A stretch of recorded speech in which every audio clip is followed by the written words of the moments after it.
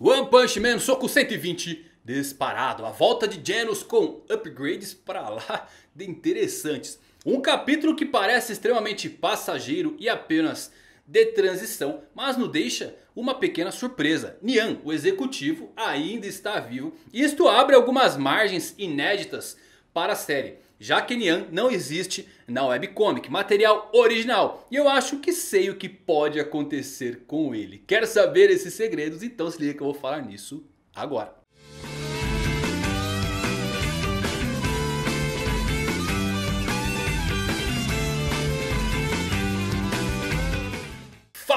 Evandro Fusari com mais um vídeo pra vocês. Como vocês estão? Espero que todos estejam muito bem. One Punch Man Soku 120, um capítulo que foi de transição, nos deixou com gostinho de quero mais. Mas envolveu alguns personagens bem interessantes como Sekingar e nos deu mais pistas sobre as atualizações e upgrades que foram colocados em Genos. Aliás, Nian está vivo e o que isso quer dizer? Quer dizer algumas coisas bem interessantes. Antes de eu falar, aproveita para se inscrever aí se ainda não se inscreveu. Ativa o sininho para receber notificações. Deixa o like para dar uma fortalecida no canal. E bora lá falar de One Punch Man Soco 120.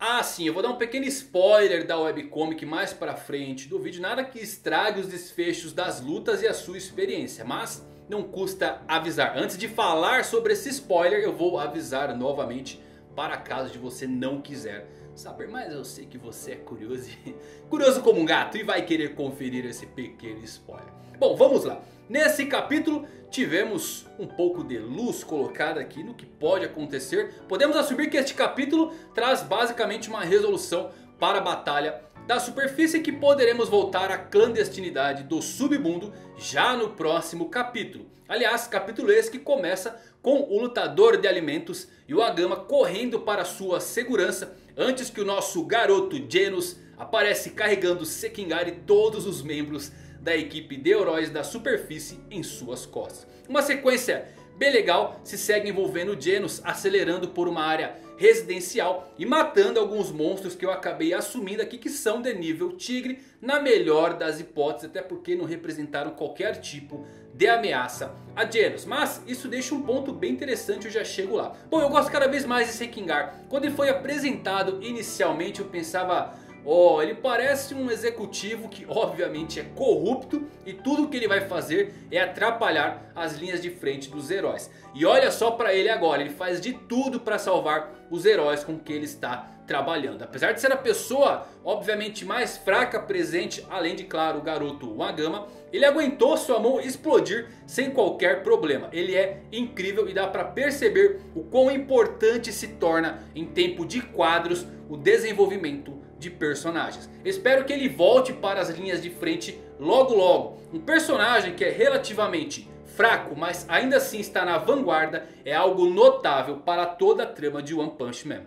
Genos acompanha com sucesso todo mundo até os reforços da Associação de Heróis e inicia uma conversa com City. Destaque para os novos braços de Genos que são incrivelmente legais. Sekingar jogar o celular tão longe não foi por acaso, foi para destacar esses braços maneiros aí. Vemos um pequeno flashback da interação de Genos com Drive Knight. Eu fiquei um pouco surpreso ao ver que Nian estava vivo. Mas ele é essencialmente agora o sujeito de testes de Drive Knight. Agora apesar de ser um monstro assassino, esse desfecho para ele parece um pouco sombrio. É legal ver o Nian delatando também sobre Saitama. Quando ele diz sobre alguém que é capaz de derrotar executivos com apenas um soco. Nian não escapou depois de tudo. Eu pensei que tinha visto ele escapar em um dos painéis do capítulo anterior. Mas realmente parece que foi algum erro de finalização. Porque em determinado momento daquele capítulo vemos que Drive Knight está com as suas mãos vazias. Deve ter sido apenas uma mudança de perspectiva. Bom, Lian ainda estar vivo eu acho que é até meio impressionante considerando tudo que ele aguentou de poder de Drive Knight. Realmente um executivo de nível dragão. Eu me pergunto se algum dia veremos a história de fundo mais ampliada de Nian que foi sugerida durante aquele encontro que ele teve com o prisioneiro Puripuri. Basicamente ele era um gato doméstico comum como qualquer outro, mas que se sentia extremamente sufocado pelo amor dominador do seu dono. E ele estava tão motivado pelo seu desejo de escapar e brincar sadicamente com suas presas o quanto quisesse que se tornou um monstro. Nada indica que a sua formação seja mais profunda do que esta pequena história. Mas não custa nada quem sabe desenvolver mais sobre toda a sua transição de gatinho sádico amado por um dono para um monstro sádico que quer matar as pessoas. Seria legal de se ver mais sobre o Nian, até porque é um personagem inédito. E é muito legal ver como Genos soube imediatamente que o careca de capa estava na base depois de ouvir sobre alguém que estava distribuindo socos aleatórios e matando executivos com apenas um deles.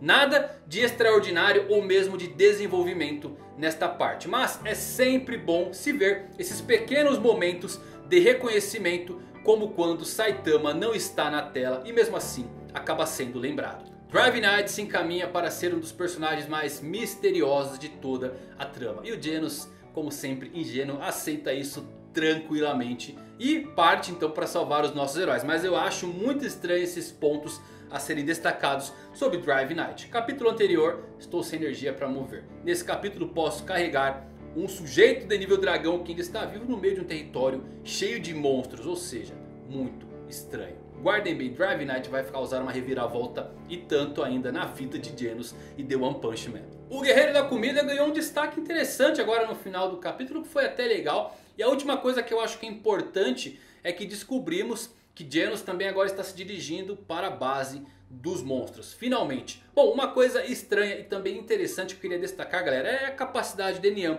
de ferir todos esses heróis, mas não matar nenhum deles. Talvez como um gato, ele obviamente queria apenas passar todo o tempo, entre aspas, brincando com essas pessoas depois que eles estivessem todos incapacitados. Basicamente é o que pensamos. Mas é chocante o modo como todos esses monstros poderosos, com clara intenção assassina, simplesmente hospitalizam heróis quando eles, no inverso, acabam sendo mortos pelos heróis. Você tem aquelas cenas chocantes de Sonic e Máscara graficamente matando de forma absurda monstros. Talvez seja aquela armadura de poder, aquela aura que envolve obviamente todos os heróis como um karma do bem. Mas se podemos colocar que se você é um robô da classe C, a mais baixa de todos, está lutando contra seres que podem basicamente separá-lo ao meio.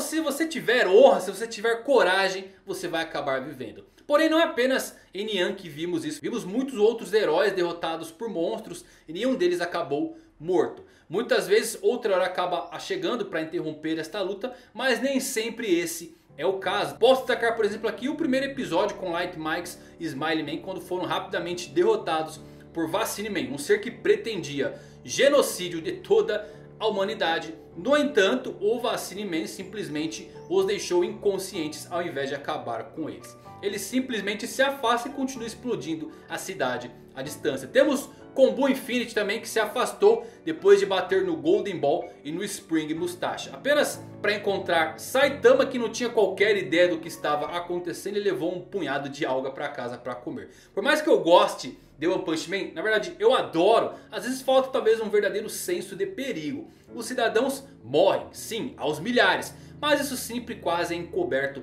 pelas catástrofes em larga escala. E mesmo sendo uma grande sátira de tudo, One Punch Man pode ter transições bem legais, mas também com cenas mais tensas. A queda de heróis poderia muito enriquecer toda a trama, deixando tudo muito mais pesado. Bom, agora o spoiler da webcomic. Se você não quiser ver, deixa o like aí, pode fechar o vídeo. Mas se você não se importa, bora lá porque eu acho que pode ter a ver com o desfecho de Nian. Algumas coisas ainda precisam acontecer antes do fim deste arco. Bang, Bomb e Fubuki precisam passar por Overground Hover. A criança imperador precisa encontrar a água natural maligna e Dark precisa lutar contra ele, Garou. Mas definitivamente o que eu fiquei pensando agora com esse capítulo é mais à frente quando o Hover acaba virando o cão de estimação do Saitama. Nian, por não existir na webcomic, poderia quem sabe adotar um tom mais neutro, assim como acontece com o Rover no fim deste arco. Seria muito legal Saitama com dois animais de estimação que basicamente têm o poder de dizimar cidades. E acho que pode ser um desfecho interessante para o gato Nian do que acabar desta forma, como sendo cobaia nas mãos de Drive Knight. Mas é isso, considerando que Saitama não vai se importar com Nian, seria muito legal ver essa interação, porque Nian não gostava que seu dono sufocava com amor, o que aconteceria com um dono que basicamente nem vai olhar para eles. Acho que seria um desfecho muito legal para o gatinho Nian. O que vocês acham? Deixa aqui nos comentários. Bom, resumindo em 20 palavras ou menos, basicamente este foi um capítulo de serviço aos fãs com atualizações legais de Genos. Mas espero o retorno para a Associação dos Monstros já no próximo capítulo, talvez com Tatsumaki voltando à tela e mostrando mais dos seus dotes e dos seus poderes. Galera é isso, espero que vocês tenham gostado. Se gostou, manda um soco aí no like, compartilha com os amigos, chame eles aqui pro canal. Muito obrigado por terem assistido, vocês são demais, fiquem ligados. Até os próximos vídeos, valeu por assistirem.